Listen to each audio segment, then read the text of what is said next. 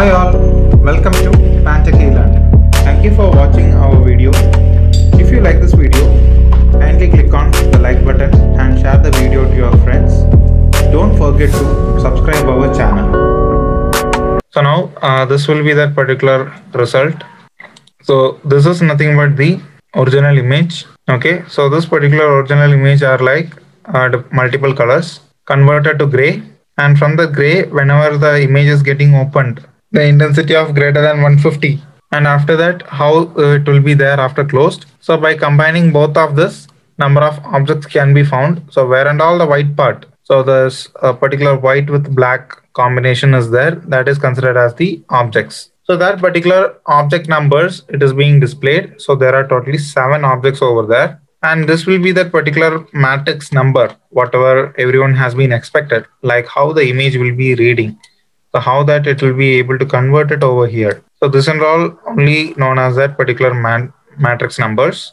Okay. Now i will just change the value to 100 and execute the code. Now let us see how many objects are there. So there are totally 12 objects. Okay. So that particular 12 objects uh, it is very difficult to count in a minute sections over here. So the variation of this intensity, it is possible from 0 to 255. So when you apply for the 255, which is the maximum range of intensity, so here you have only one object. What happens if I give it for 200? We have seen for 150, 255, and now we are going to see for 200, and therefore there are four objects. So calculate in and four kinds of sections. So therefore this is known as the objects found and this will be the intensity range. This also comes uh, part of segmentation. So regarding the segmentation, we'll be seeing in the upcoming classes. Now what happens if we are providing this intensity level in the range of 50? Because for double digit, we have to try it.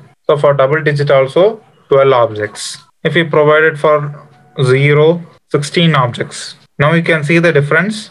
Like I have set the range from 0 to 255 so that particular 0 to 255, when we are applying the 255, the number of objects was 1. But when you go for the num uh, number of objects 16, so therefore the intensity should be 0. But here it is not completely showing it as 0 objects are present. So that is nothing but the complete process of image which varies on the intensity. According to the image, the intensity variation also gets changed. But here also you can see how that particular matrix values has been changed. So how much uh, difference will be uh, that particular uh, objects between the zero as well as the single digits? So I will apply the single digits as 80, sorry, 8. So if you apply any of the single digit, therefore it will be completely the 16. If you are going the range of 50 to 100, number of objects will be 12. If you are going with 150 above, it will be 7. If you are going for 200 plus, it will be 4. And if you are going for 255,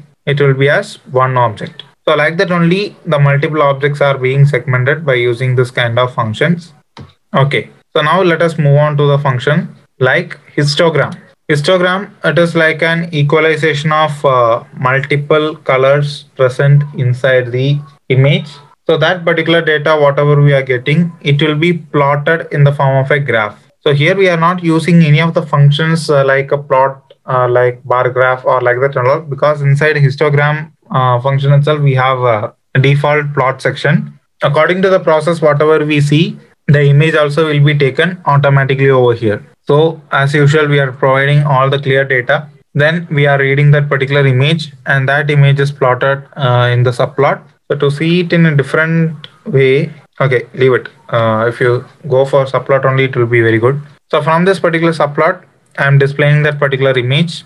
After that, converting into the grayscale. Now I am going to find out the histogram equalization for a gray image. So for that, the main function is histeq. Hist eq will be known as that particular function. So within that, the respective variable should be provided and it has been provided as gray. Now, what and all the images will be displayed means one is that particular gray and another one is the histogram. So this histogram itself, we are taking it for three different plots okay that is for uh, original image gray image and finally the histogram applied image so here for now i am commenting it and we are running only that particular equalization so this is known as histogram equalized image this is for a mri scan image The same thing if we go for a color image, which is similar to the grayscale. Okay, but some pixel variations and clarity will be changed. Now, how to plot this particular data? Now I am running it. Okay, so these are that particular image, and here we can see the difference. For color image, this will be the equalization plot. Instead of subplot, I will just display it separately so that we can see the graph as clear as possible. Okay, so here we have three different sections. These are the original images. First, let us go the variation for original image. So this is that particular variation for original image histogram, which is known as uh, into the power of 4. This is for the gray image. So that particular variation is identified over here. There it was 10 to the power of 4. Here there is no such powers, even though it is taking in 4 digits. Uh, here the normal values are taken in the form of 10 to the power of 3. And this is nothing but the histogram data. So on this basis only that complete classification can be applied over here. This is known as histogram equalization. Sir, in histogram, plot what is x-axis and y-axis. Yeah, so this particular plot inside this x-axis and y-axis, x-axis is known as total number of bins. Like uh, can be said as total number of pixels, etc. And this is known as the frequency of each and every pixels. The y-axis is completely known as the frequency of complete pixels. Okay, so here there is another question. L num. Yeah, this is to count the number of labels. Count the number of labels from the closed image. Okay, so the inverse of the closed image only we will be able to calculate the label value in the form of unsigned integer 8-bit.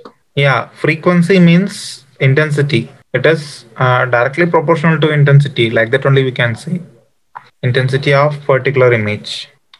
Just I will run this code. Okay, so here just see here the subplot I have taken it as 3 comma 1 comma 1. So there are three rows, one column, and which position. So here I have given it as first position. So first position is original image 3 comma 1 comma 2. Third uh, three rows, only one column. So on second position, I have taken as the gray image. Third position as histogram image. This is known as the subplot. Fine. Okay. So let us see for the next application.